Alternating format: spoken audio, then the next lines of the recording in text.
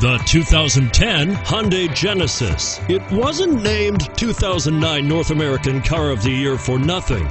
Genesis combines luxury, performance, and engineering for one powerful and memorable driving experience and is priced below $20,000. This vehicle has less than 85,000 miles. Here are some of this vehicle's great options.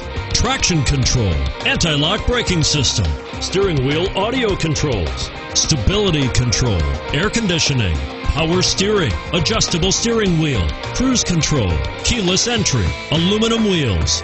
Come take a test drive today.